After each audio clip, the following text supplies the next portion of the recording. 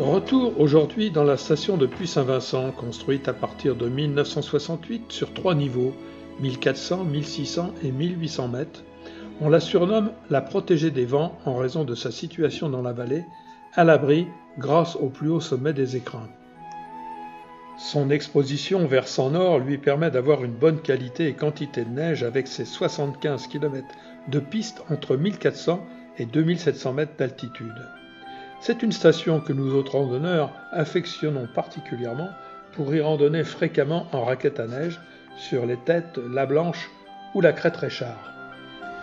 Mais aujourd'hui, alors que nous cherchons précisément la neige qui fait défaut dans les Hautes-Alpes en ce début février, nous avons retenu la vallée de Narérou pour une sortie entre amis.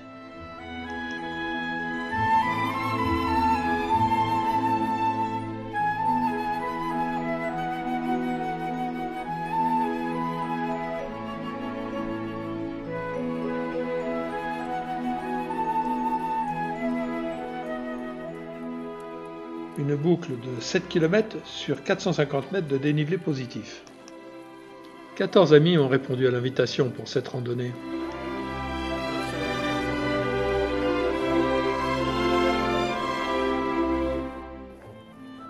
Et nous voilà déjà à la chapelle Saint-Vincent. Et à ce propos, il faut que je vous raconte l'histoire qui est arrivée à Saint-Vincent. Lorsqu'il était au Vigneault, Saint-Vincent voulut monter au puits, malgré les conseils des gens du pays qui lui disait craindre une rencontre avec une bête féroce. Le saint emprunte quand même le sentier et se trouve en face d'un énorme chien ébouriffé montrant des crocs menaçants. Il fait aussitôt demi-tour, il rentre au vignot, il demande une poêle et de l'eau bénite et se remet en route sur le sentier. Il rencontre à nouveau le monstre et réussit à lui accrocher la poêle à sa longue queue dans laquelle il avait versé trois gouttes d'eau bénite. L'animal bondit.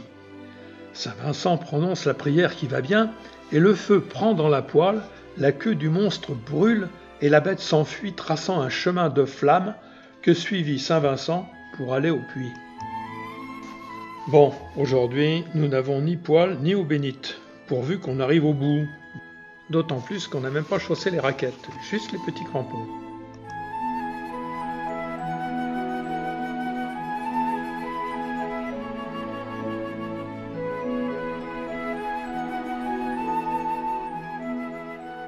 Il y en a trois qui doivent se raconter l'histoire de Saint-Vincent.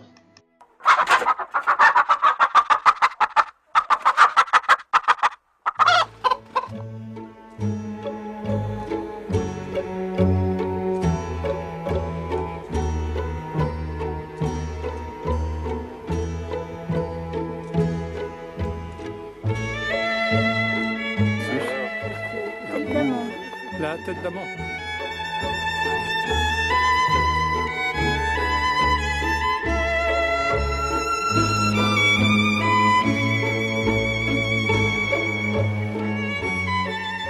Décidément, ils se racontent tous l'histoire de Saint-Vincent.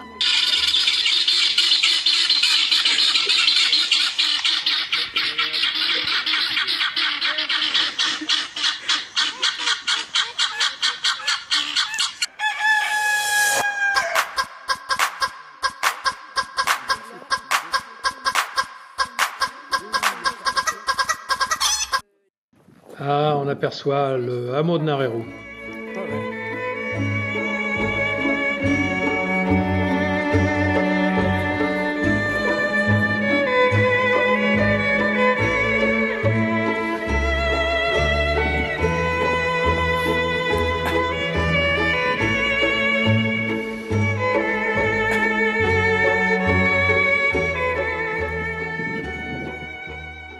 Au détour d'un virage, Notre-Dame de Narérou, bâtie au XVIIe siècle sans doute pour servir de lieu de culte à une dizaine de chalets d'alpage perchés et isolés. Elle a été restaurée en 1997. Ses parois intérieures ont été recouvertes de peintures murales contemporaines et en face, une Vierge à l'enfant majestueuse, entourée de deux anges et en dessous, quatre saints entourant l'archange Michel.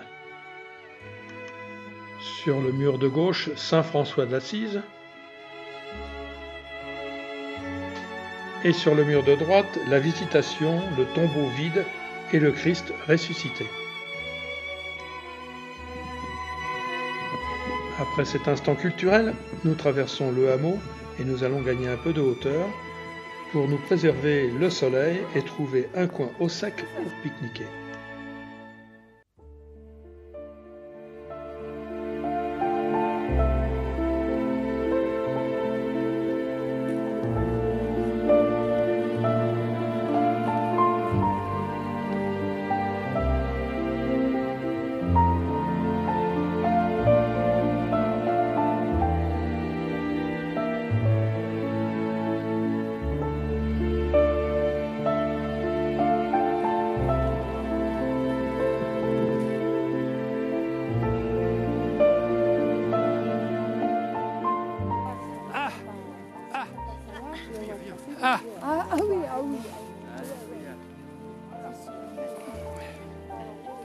Ça grimpe, hein Un Robert?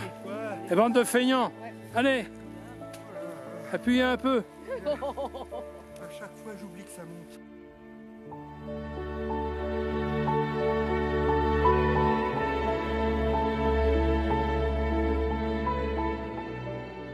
Ce hameau de Narérou est d'une splendeur incroyable, dommage que ça manque de neige.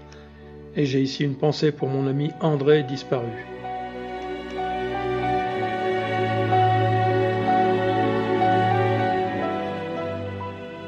Que les pâquerettes et les primes verts.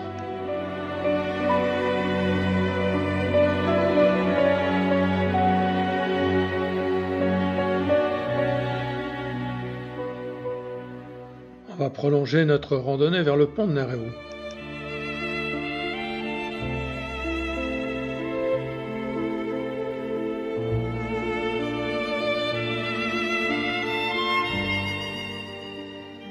Le récent coup de vent a laissé des traces, les skieurs de randonnée ne vont pas trop aimer.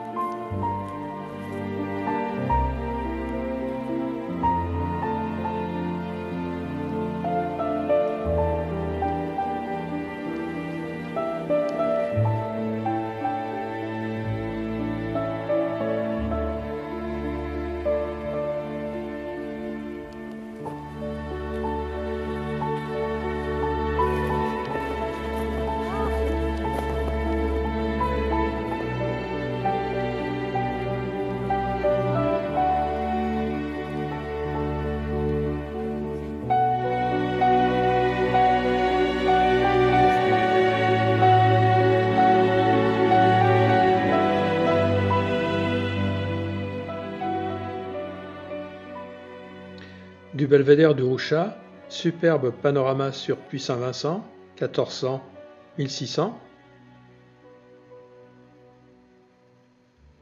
Les Clos.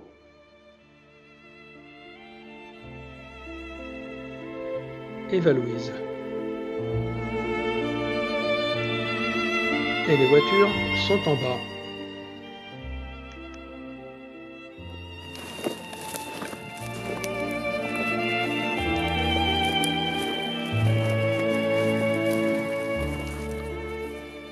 Un petit peu de ski de piste pour terminer.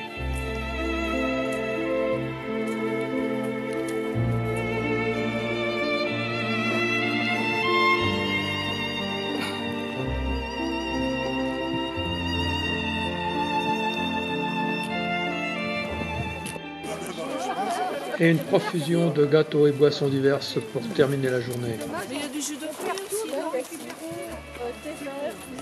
Qui c'est qui a pas vu Mais c'est que les tranches sont un peu Ah, il est bon grandes.